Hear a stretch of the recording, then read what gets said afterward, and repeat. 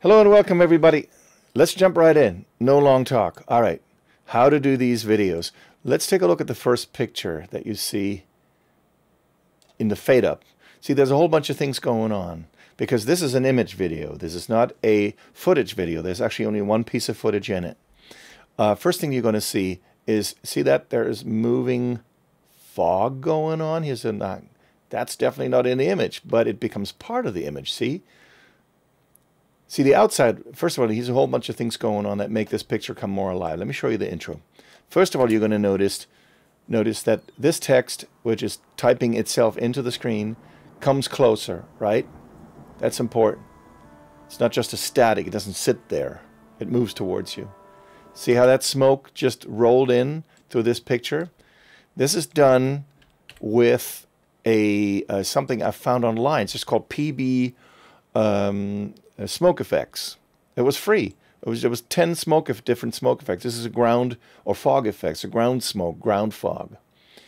Uh, it helps if you use fog, if it's made uh, created out of smoke and you want to make it look like fog, it's a good idea to blur it and slow it down. Slow it like literally down to 20% if needed. You're going to see this a lot in this video.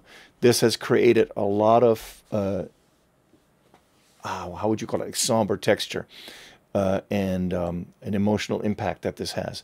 Okay, let me turn the picture below back on. By the way, the fog, if we look at the opacity, it's only present at 33%, right? So it rolls in under the letters. Take a look at it again. There's the fog coming in, see? It just shows up like a ghost out of nowhere. So it starts with zero opacity and then fades in. That's done with the opacity slider over here. You can, of course, automize all this. Really important. Moving on. So now the image comes to full light. So what do you see here on the image? You see that the corners of it are blurred, but the center is clear. The image without the blur effect looks quite a bit different. Let me turn the focus blur off. That's called a focus blur. See, when I turn that off, here's the picture in full clarity. That's nice, but you can begin kind of, you can take a blur transition, which makes the image really obscure and really mysterious looking, and then fade into the picture at greater clarity, but leave a focus blur plugin on the image itself. So that's what I've done, which leaves the center of the image clear. So now I'm fading the, the you can actually see that the focus blur up here fades out. Let's play from here to there and watch what's up happening up here in the focus plugin. This is all automized. See how it goes backwards? As this goes down to zero, now you have a fully clear image. But the thing we've done also, this is actually not a monochrome image. It's uh, It has full color. It's a beautiful image we found on uh, unsplash.com. I think it was unsplash.com or Pixabay. Those are the two free websites I mostly work with. Um, and this one Marsha found, and she loved it, and, and I agree with her. I said, this is a gorgeous image. So take a look real quick. What's happening now in the next step is Marsha's face, the artist. She's fading in. All right? So this is just an overlay. And you can see also this is somehow softened. It's got a very low opacity. Let's take a look at it. Yep, again, about 36%. There's an underlay. The same image is present underneath. I forgot why I did that. Uh, yeah, this one's clear, and this one's smoother. Yeah, this has a vignette on it. See, so you don't see like the hard edges of the image right over there. And um, you can change the fall off, see right there, so you can just take more or less of it. I just wanted a little bit of the t-shirt, but you could we could have even done this. Right. And then we turn the other image on to strengthen the definition of the image. So it's a mix between a clear one and a slightly blurred one.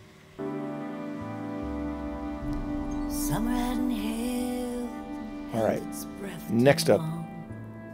Aha, now we're fading, and this is you can see that this is a blur fade into the next image. It makes a completely smoky transition between those two images, while, as you can see, the face shot, Marsha's face shot, stays present in and, and slowly fades out. So you can see this ghost of an image remaining. See, that's really cool looking right there. So in total, it looks like this.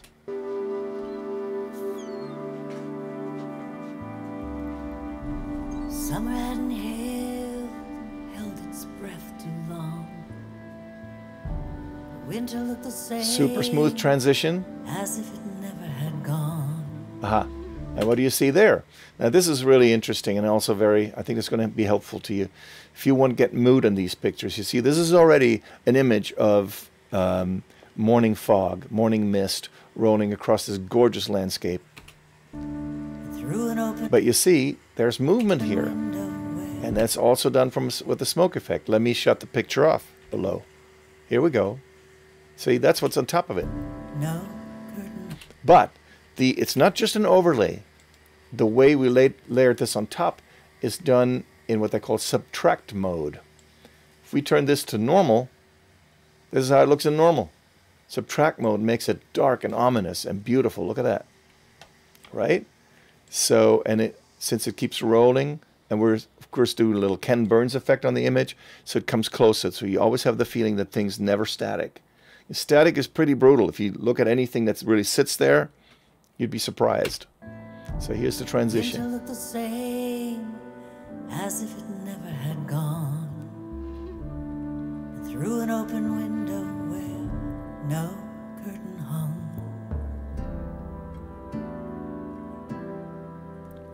See, again, a blurred transition. It just makes it just, just this wash uh, going across the screen. I saw you. See, there's this little puff of smoke from another smoke effect right there coming across it as it rolls in. I saw you. And the same thing with this this fog fog is done as an overlay, which also has a different response uh, responds different and creates a different effect that if you were to just go to normal. See, this is the overlay when it looks in normal.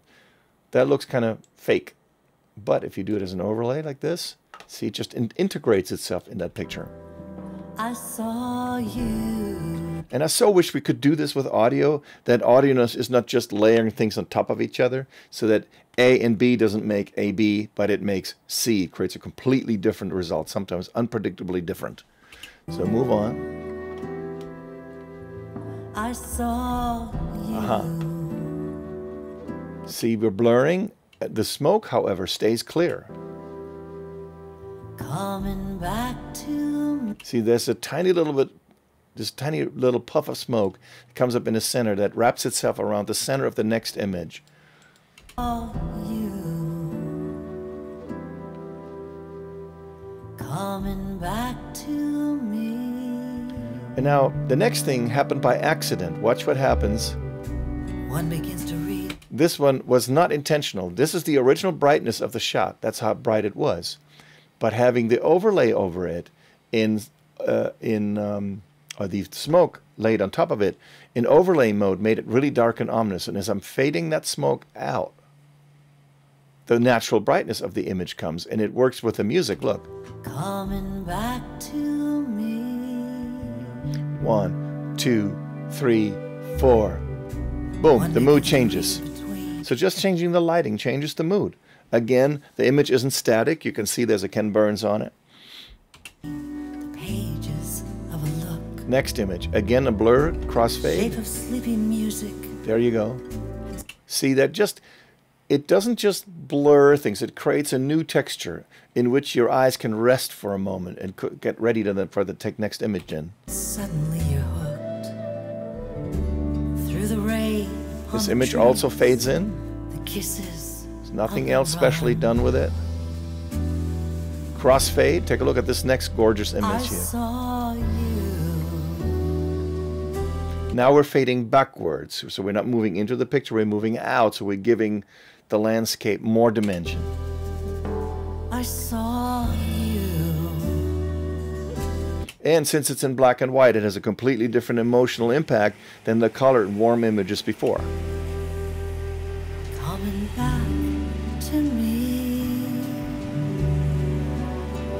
Again, a blurred transition. Excuse the gardeners outside. My God, it's Tuesday, the gardeners are in. You came to stay. Live my way. Same thing here. This image has smoke on top of it. See? And this particular smoke was done in uh, actually normal blending mode. It's just added on top. That seemed to look right for this picture.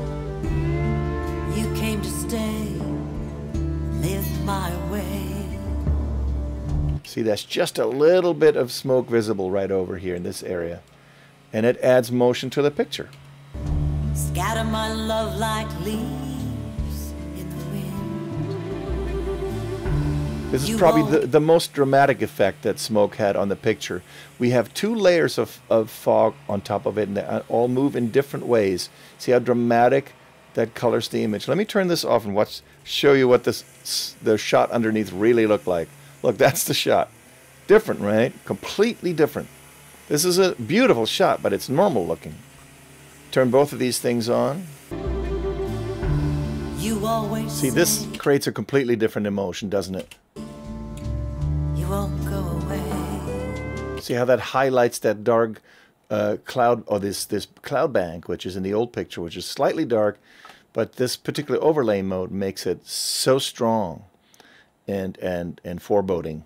But I know what it always has been. Now this is real footage that Marsha found.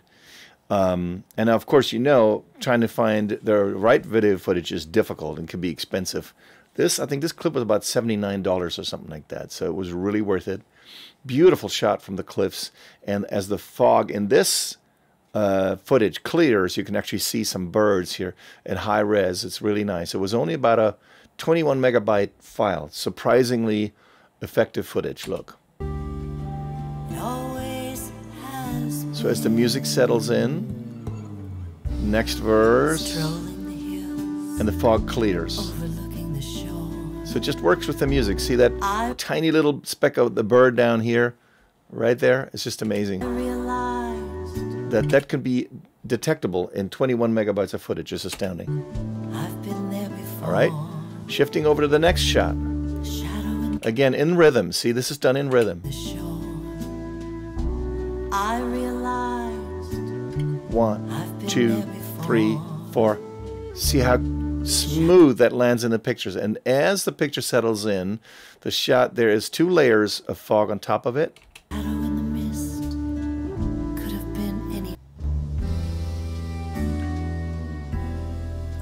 This shot is particularly interesting. You see, this is this is the real shot that we drew from, strongly blurred. But see, as I scroll backwards, the man in the middle of the image disappears. The reason why that is so, it's very simple. Uh, let me just turn this off. These are two shots. I just copied the first one and the second one, exported the shot with the man in the picture into my photo software, which in this case is GIMP. I just created it, rubber stamped the man out, and then now we're fading, seeing this across a blur crossfade and a good bit of layer of, of fog into this next shot. Look how it flows. could have been anyone. Also, again, boom. That's where the crest of this new picture lands, where it becomes clear. Oh, I saw you. No man, here he is appearing. It looks almost like he's walking. I saw you And fade out. Look, coming back to me.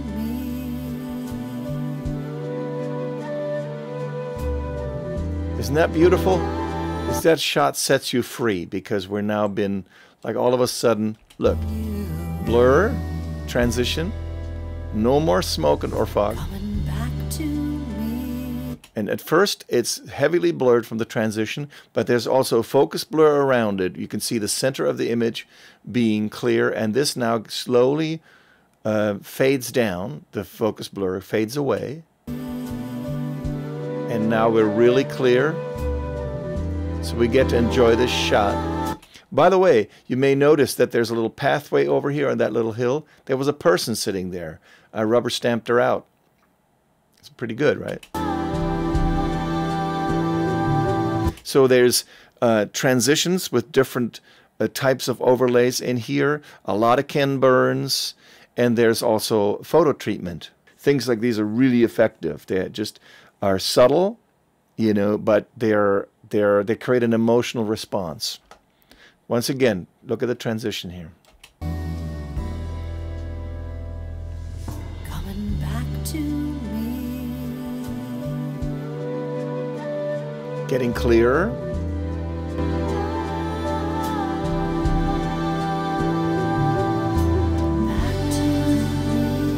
Aha. Into our very last shot. And this is again, you see an overlay of smoke or ground fog rolling across. Again, in a very effective blur transition. See that there's it's moving around there, there. Bring it, and it's Ken Burns also moving towards you.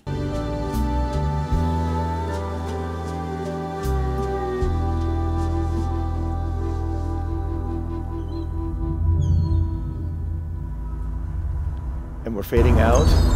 Okay, good. Now the volume's coming back up.